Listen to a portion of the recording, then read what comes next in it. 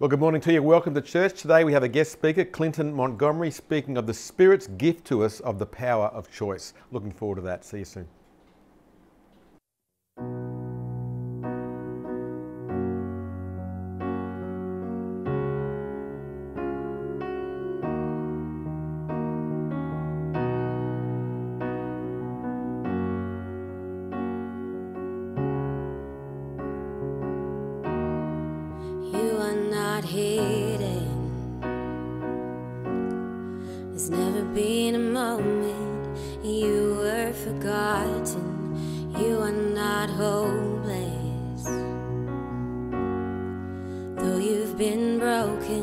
Your innocence stolen.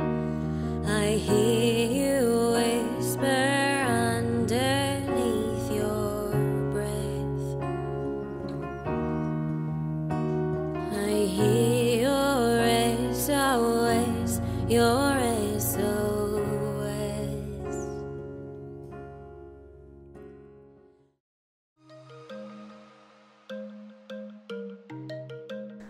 Welcome to church. My name is Clinton, and uh, I'll be preaching this week on the power of choice. Um, really trusting that Pat and uh, that Pat would have a great time away on leave. It's such a privilege just to get some time away, and uh, really praying for them that this would be a time of rest and uh, just recovering after a really interesting 2020 heading into 2021.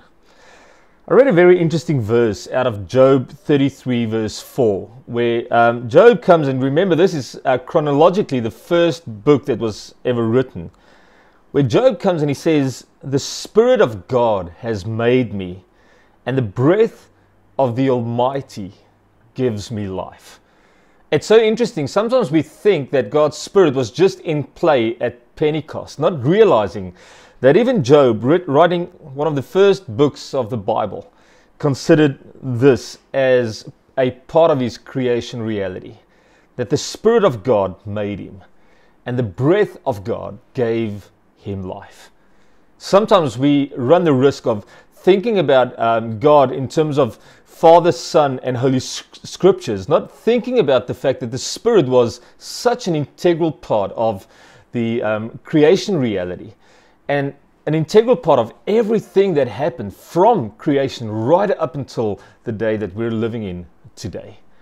So, thinking about this, I want to sort of th- just um, consider a few thoughts when it comes to the effect that the Spirit of God has in our daily lives. I love what Pat says that, that when it comes to the Spirit, it can range between cold and crazy, and somewhere in the middle, there has to be a, a, a living reality that affects our daily lives, our daily livings. I firmly believe that God's Spirit is not just for the big moments, the big events in life, the salvation and, and some of those, it's, it's for every day. It defines the big moments and the small moments in such a beautiful way. Listen to what Paul says in Romans 8, verse 1 to 4. He says, So now there is no condemnation for those who belong to Christ Jesus. That's um, the foundational reference. And because you belong to Him, the power of the life giving Spirit has freed you from the power of sin that leads to death. The law of Moses was unable to save us because of the weakness of our own sinful nature. So God did what the law could not do. He sent His own Son in a body like the bodies we sinners have.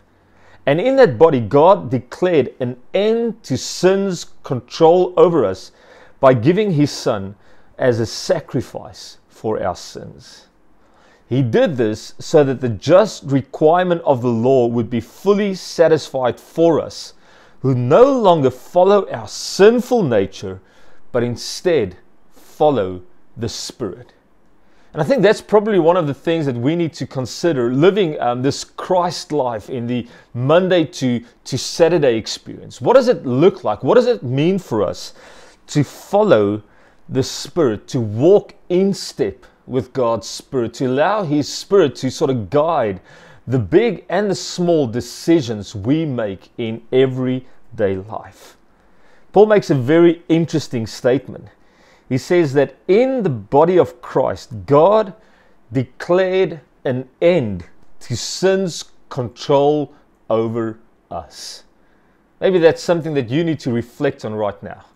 Just to consider in the basic decisions, the little interactions that you have with yourself every day.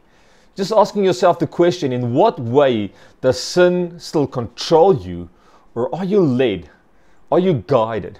Are you inspired by the Spirit's presence in, in your life?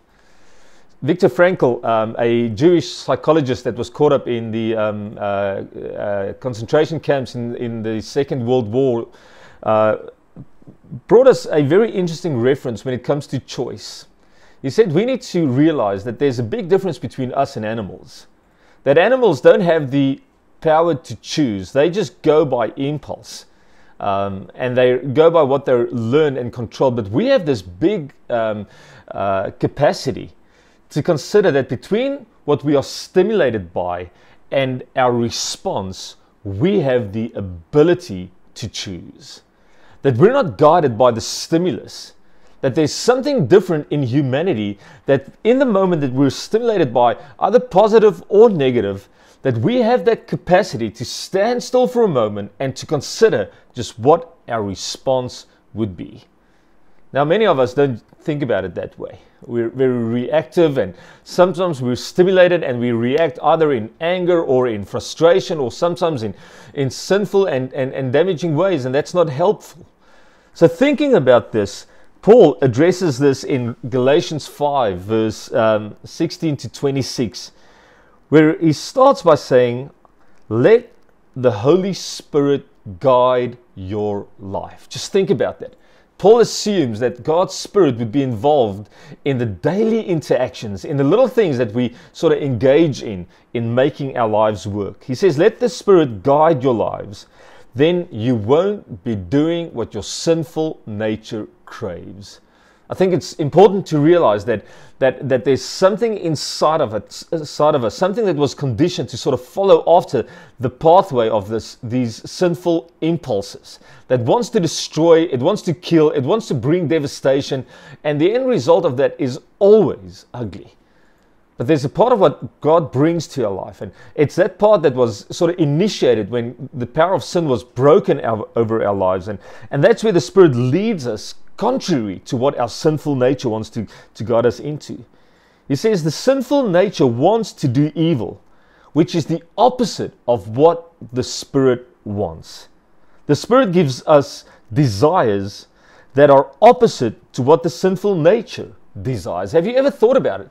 That God's Spirit in you, guiding you, actually gives you desires of things that are good, things that are pleasant, and desire is an interesting thing. Desire is a key motivator. So God's Spirit actually gives you the capacity to desire, a motivation, an inspiration from the inside that has the same pulling power, sometimes bigger than what sin would do. And that's one of the things that I want you to consider. Maybe just asking you at the moment, we all know and we can all define the desires that our sinful nature brings. But have you ever thought about the fact that God wants to lead you through desires that His Spirit has placed in you? He sees these two forces are constantly fighting each other, so you, you are not free to carry out your good intentions. But when you are directed by the Spirit, you are not under obligation to the law of Moses. That obligation has been broken. So we don't do this Christian life out of obligation.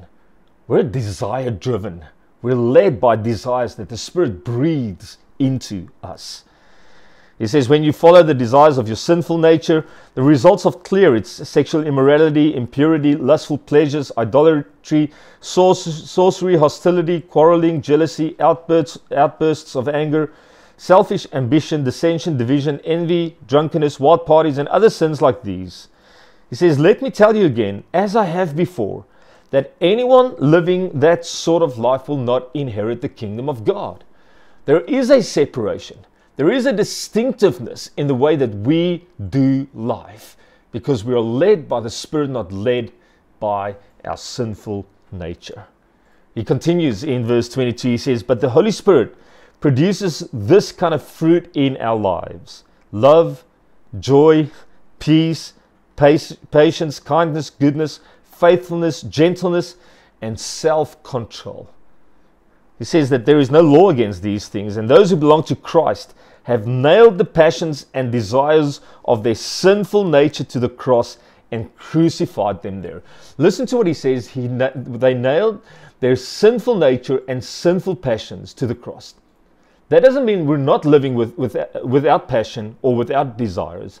It's just we've nailed the wrong passions and the wrong desires to the cross. We are now set free to live with the power of passion and the power of desire, actually following hard after what God is calling us into. He says, Since we are living by the Spirit, let us follow the Spirit's leading in every part of our lives. What does it look like for us to, to follow the Spirit's leading in every part of our lives? Well, um, to unpack further what Frankl sort of suggested, he said between stimulus and response, we've got this capacity to choose, and we draw on four different capacities our self awareness, which is your perception of your identity, informs your choice. So, so think about this every time you choose, you are giving people an indication of your perception of your identity. The second thing that we draw on is our conscience, which is your perception of your past. That every time you choose, you sort of give people an indication of are you fueled by guilt, shame, or pain? Or is your conscience something that has been cleaned? And are you doing something from an innocence, a, a pureness of heart, which is again reflected in your choices. The third one, which is really interesting, is that every time you choose, you're giving people um, and yourself an indication on your perception of your future. That some people's imaginations have been so screwed by just falling into fantasies of, of, of, of lust and, and sin and different things that they don't understand that their imagination is actually the capacity to live by faith, the ability to see the future, the ability to walk forward in hope. And, and if that part of your world, that part of your life, if your imagination has been destroyed, you lose hope. And you can't place hope at the center of the choices that you make. And the last one is your independent will. It's the perception of your ability to act. Can you be, um, can you cause something to, to happen? Can you act when needed?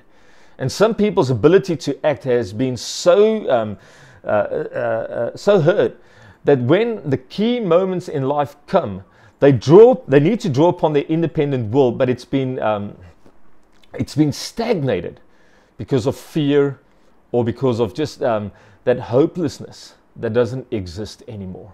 And all of these things are seen in our choices when we respond to the way that we are stimulated. And, and, and maybe just let's ask the question if you think about this, what is seen at this moment in terms of your self awareness, your conscience, your imagination, and your independent will in the choices that you are making? What are the people closest to you thinking when they see your choices, the way that you are acting? Are you led by the Spirit, or have you been held hostage by a wrong perception of identity, your past, your future, and your ability to act? Now, these things are quite easy in the black and white decisions. Um, where it's clear. I think the Bible gives us a list don't kill, don't steal, don't um, uh, commit adultery. There's um, quite an, a, a, a, a um, I think, a clear list on what we are allowed and what we aren't allowed to do. But when I thought about this, I asked myself the question how do we choose in gray areas where it's not as clear? See, Viktor Frankl speaks about the principle of having integrity in the moment of choice that when these choices come where it's not black and white, it's not those easy decisions in life. I don't wake up in the mornings thinking, okay, um, I know I want to kill someone, but I'm not going to. I don't live like that. But there are those gray decisions, those decisions that, that they're neither black or white. that we need to have integrity in the moment of choice where we allow God's Spirit to lead us into the unknown, sometimes without all the information we need. And I actually think um, Paul speaks clearly on this in the book of Corinthians, where he gives us five principles to consider every time we need to make decisions in gray areas. The first one he speaks about is the principle of grace. Does it lead to freedom or bondage? 1 Corinthians 6, verse 12 in the message translation, Paul says, Just because something is technically legal doesn't mean that it is spiritually appropriate. If I went around doing whatever I thought I could get by with, I'd be a slave to my whims or my impulses. That we've got to consider the principle of grace. In the decisions that I'm making, will it lead to freedom or bondage? I've got a real problem with condensed milk um, that I can't. Um, I don't have the capacity to to say no to a tin of condensed milk, and I don't I don't share with anyone. It's mine. Um, so I would buy a tin of condensed milk, condensed milk, and every time I buy it, I know it's wrong, because there's a certain reaction afterwards where I get this major sugar rush, and straight after, I can't. I, I've got to go to bed. I'm no good. And I realized that I don't consider the principle of grace every time I walk past that aisle and I take a tin of condensed milk because it's going to lead me into the bondage of sleep um, if, if I take that. And, and that's just a light um, uh, example, but, but we do that. In the way we engage the um, kind of entertainment that we allow in our lives, the emotional reactions or outbursts that we allow, the sinful habits that we allow, have you asked yourself the question? Does this lead to freedom or bondage? The second principle is the principle of growth. Does it build me up or does it break me down? 1 Corinthians 10, verse 23, Paul says, All things are lawful, that is, morally legitimate and permissible, but not all things are beneficial or advantageous. All things are lawful, but not all things are constructive to character and edifying to spiritual life. See, as you grow in maturity, you realize, even uh, just as an adult, that life doesn't consist between the white and the black. Life consists in living well in the gray. And you've got to ask yourself the question in certain things that you allow to form your character and to edify your spiritual life, that is it building me up or is it actually breaking me down. That there's certain things that doesn't always classify just as sin, but in doing that, it with it makes withdrawals out of your character and out of things that edifies your spiritual life. And in time, it will affect you.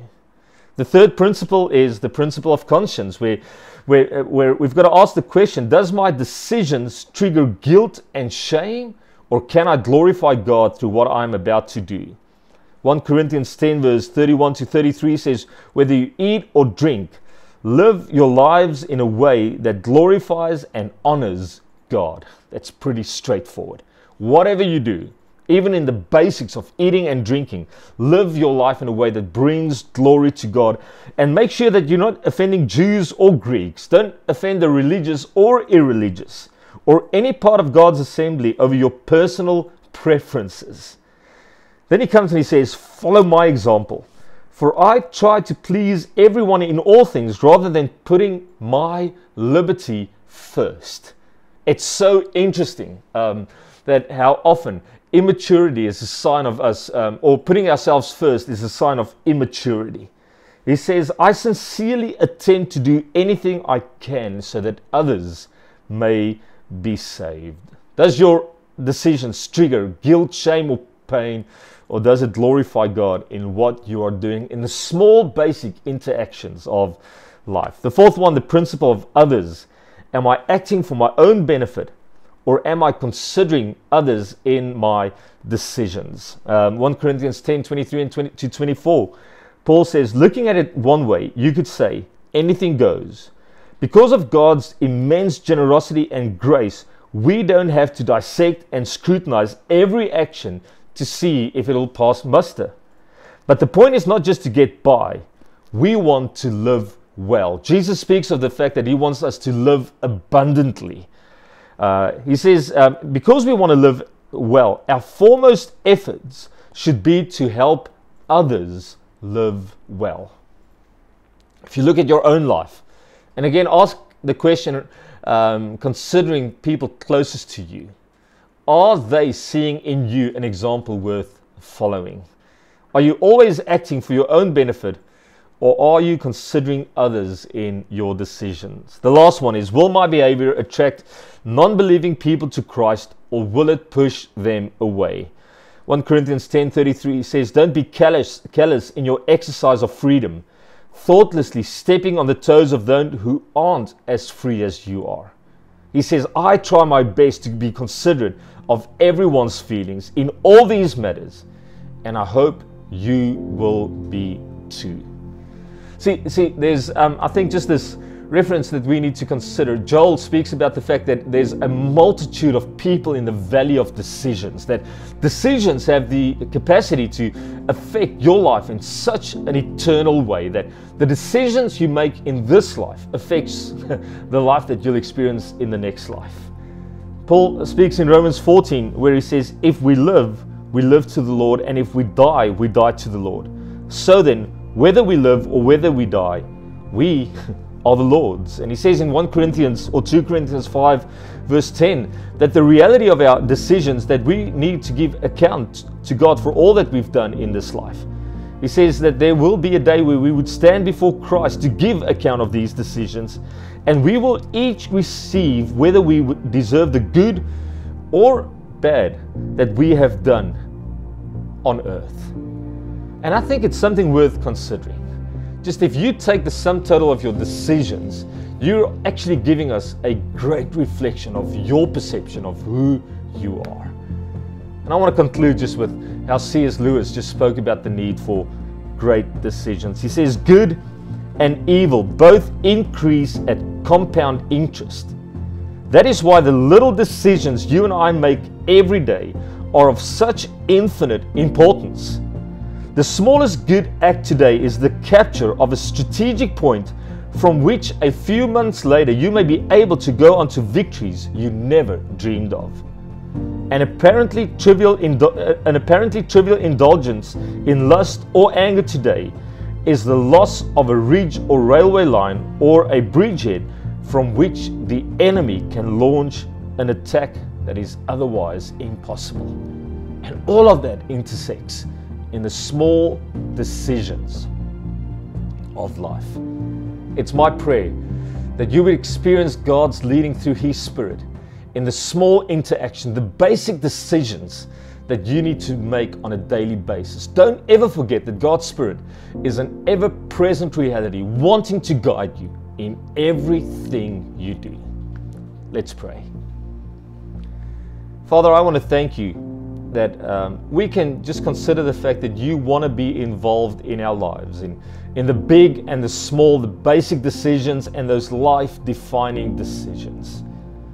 Thank you, Lord, that when we consider the fact that our decisions actually shape our future, that you've not left us alone, but you've given us your spirit to guide us, to lead us, uh, your spirit so that we could follow uh, in, in, in, in the every interday interactions. And Father, I want to pray that you would lead us through your spirit in a way that would astound us. I want to pray, Lord, for a deeper awareness of your spirit in, in the basics of life for young and old. And that we would realize, even in the moments where things look gray, that you are willing to guide us, willing to lead us into life and an abundant life.